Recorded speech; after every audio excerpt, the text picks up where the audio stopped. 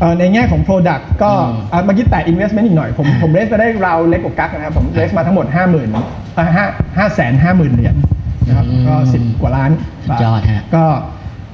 ก็จากธุรกิจเล็กๆนะครับ วันนี้ valuation ก็กระโดดขึ้นไปได้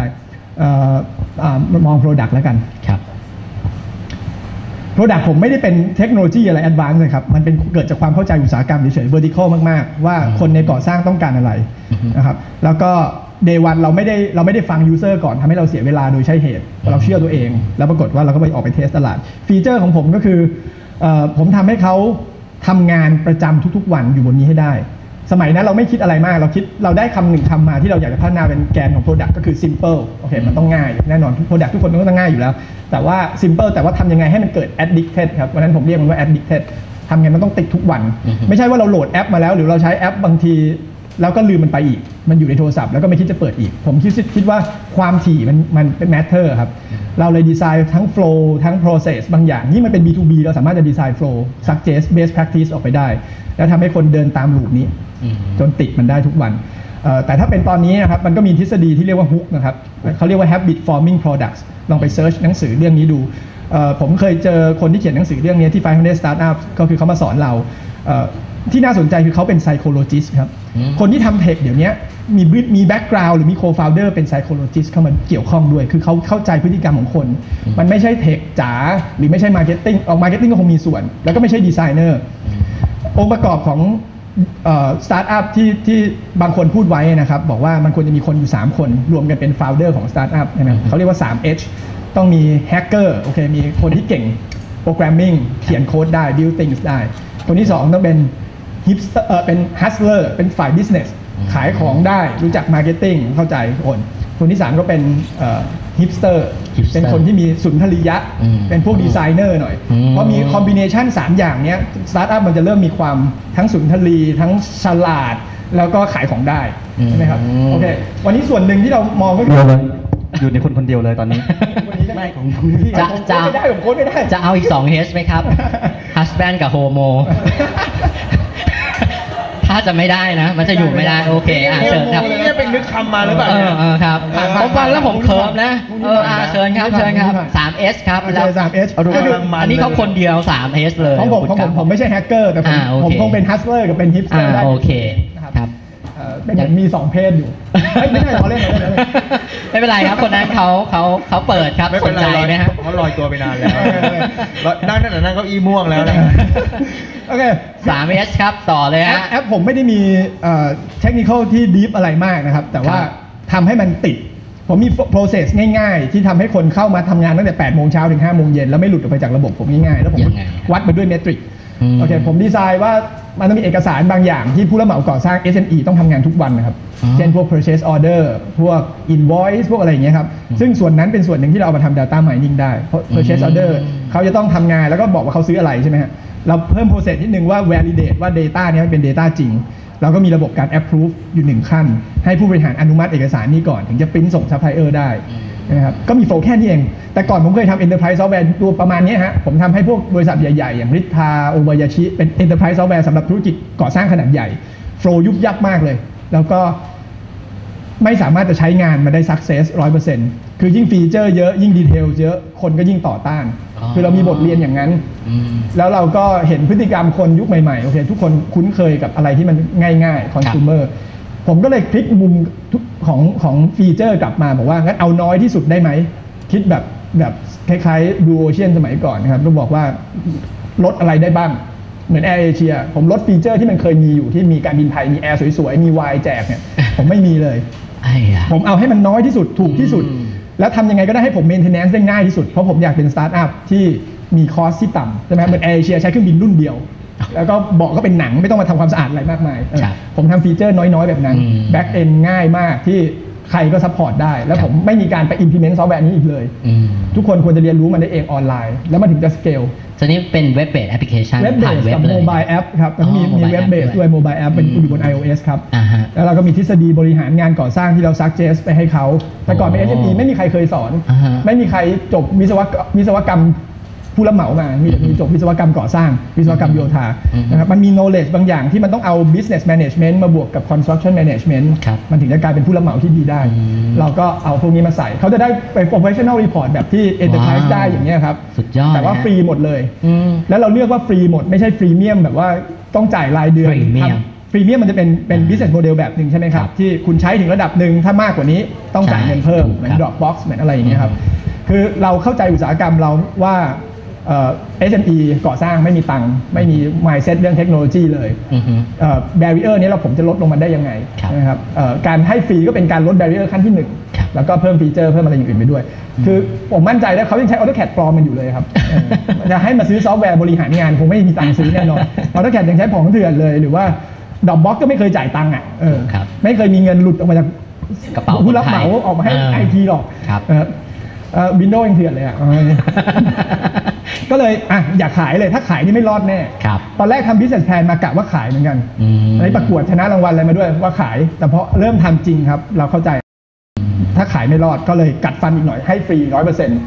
แล้วเราไปหารายได้จากอย่างอื่นแทน เพราะเราเราเริ่มจากการเขียนแผนที่ของคนในอุตสาหกรรมเราก่อนว่าอุตสาหกรรมผมมีใครเป็นผู้เล่นอยู่บ้างอือฮึเอ่อมีภาครัฐฉีดเงินเข้ามามีเอกชนทำนิคมอุตสาหกรรมทำเจ้าของบ้าน real estate อะไรเงี้ยครับมี product ที่เกี่ยวข้อง SCG มีอะไรเงี้ยผมไล่แมปขึ้นมาก่อนอืมมี service ที่เกี่ยวข้องคืออะไรบ้าง ผู้รับเหมาสถาปนิกครับแล้วก็คนตรวจสอบอาคารบริษัทอืมไฟแนนซ์อะไรต่างๆ แล้วเราก็มา mark ว่าใครมันรวยสุดในนี้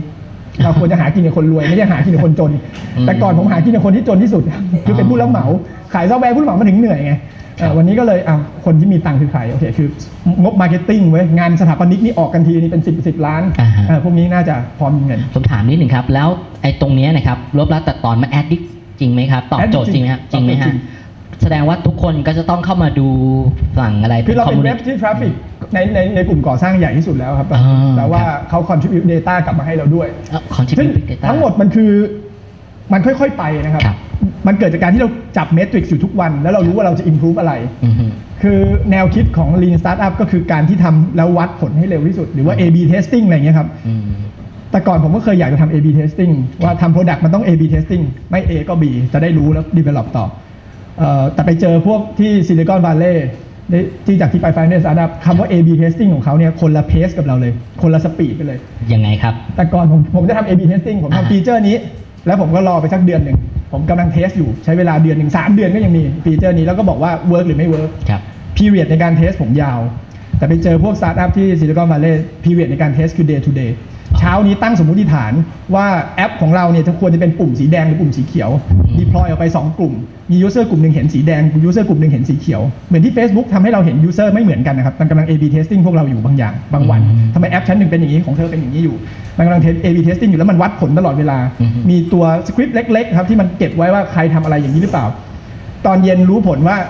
70%ไปทางปุ่มสีเขียวพรุ่งนี้แอปทุกคนเปลี่ยนเป็นสีเขียวอืม ไปตั้งสมมติฐานเรื่องอื่นต่อ message นี้ทำให้คนไม่ convert นะ เปลี่ยน wording ตัวนี้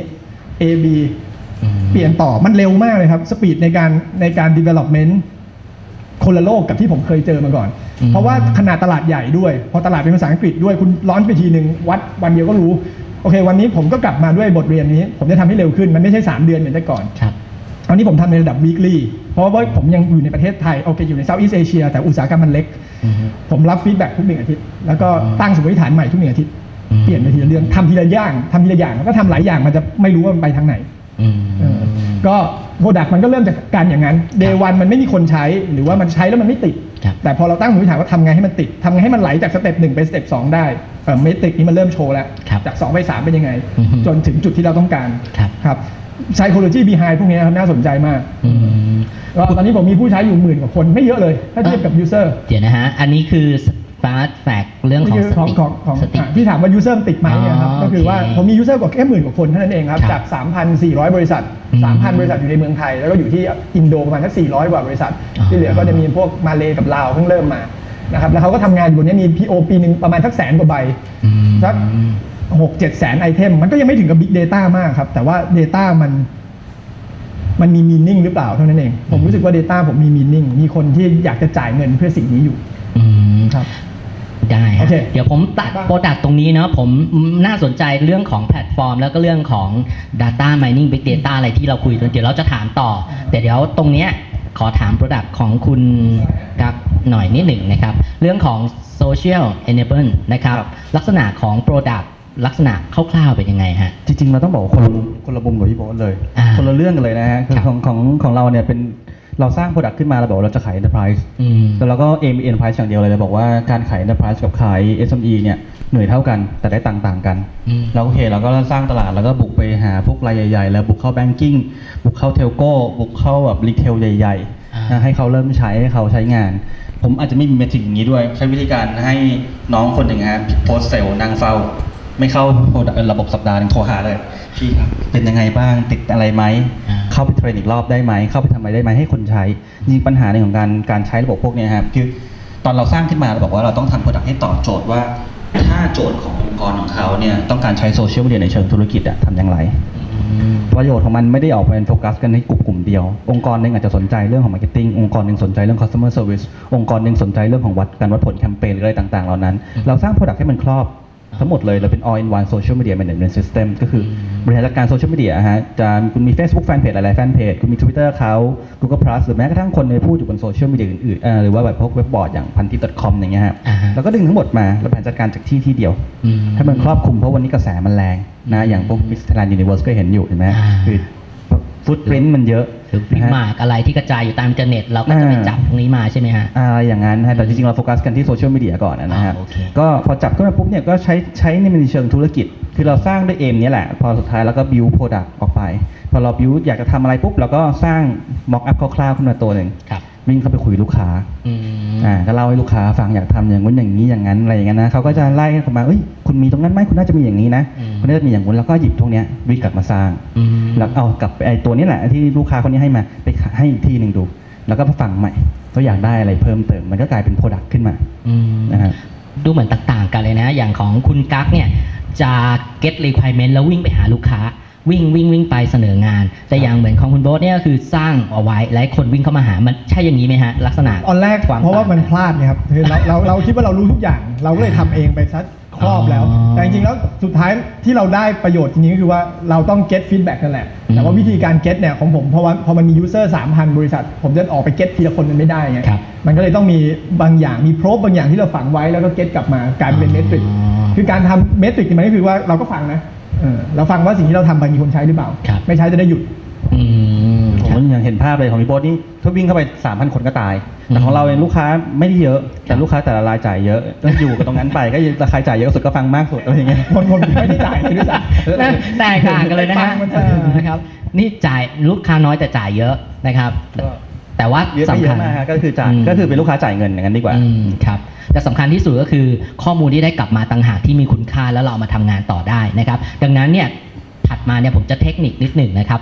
ตัวเรื่องของโปรแกรมที่ทั้งสองท่านทำเนยครับ based on เป็นลักษณะของ software as a service ผมใช้คำนี้ได้ไหมฮะใช่ครับ ดังนั้นเนี่ย infrastructure ของซอฟต์แวร์ที่จะไปวางเนี่ยผมถามนิดหนึ่งอยู่ในประเทศไทยเปล่ะฮะไม่อยู่เลยฮะอยู่ต่างประเทศหมด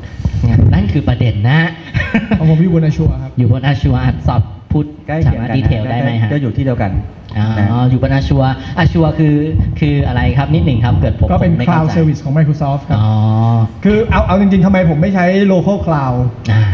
เพราะวันนี้ถ้าเราอยากจะใช้ cloud service มันเป็น infrastructure ที่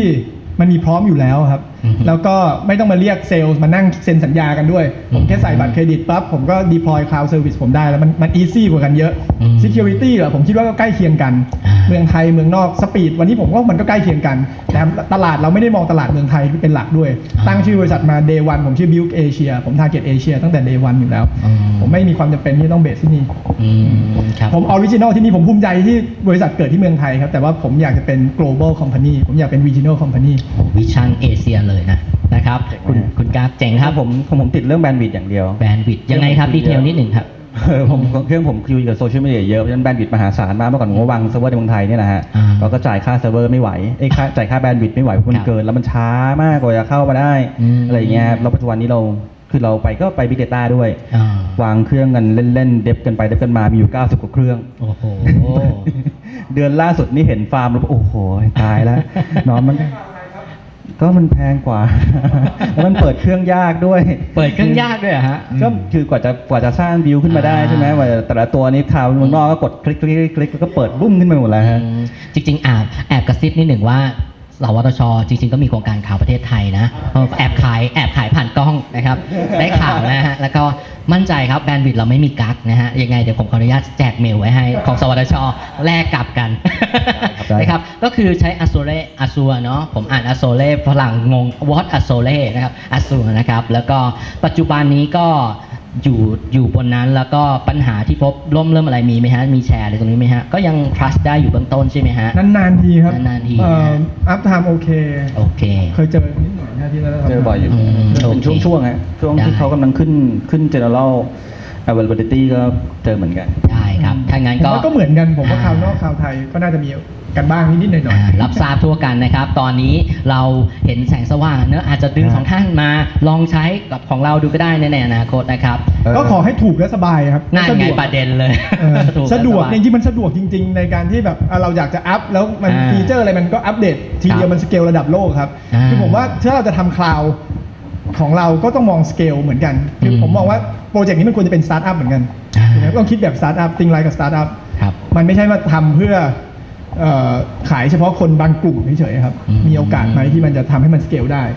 เป็นไปได้อีกอันหนึ่งโมเดลราคานะฮะโมเดลราคา cloud นอกข้อดีของมันคือ สมมติว่าเริ่มต้นเปิดเครื่องเครื่องหนึ่งสามร้อยบาทต่อเดือนครับถูกกว่าไปซื้อกาแฟสองสามแก้วอีกสองแก้วอีกเพราะฉะนั้นพอมันเปิดถูกปุ๊บแล้วพอมันเปิดมันได้เยอะๆปุ๊บเนี่ยถึงเวลาเราโตเราก็โตตามกันไป แล้วก็ใคร upsize ขึ้นขึ้นไปเพราะฉะนั้นโมเดลราคามันโตตามธุรกิจได้อืมไม่ใช่ว่าเปิดมาทีหนึ่งสองพันห้าพันอย่างเงี้ยฮะกว่าจะเปิดกันได้ครบ หรือกว่าจะกระจายเครื่องให้มันโหลดมันครบเนี่ยมันก็ใช้เงินไปเยอะ ก็ก็ไปข่าวนอกกันมากกันหมดอืมอะครับได้สองข้อแล้วถูกแล้วก็ง่ายนะจ้ะไปทำมานะ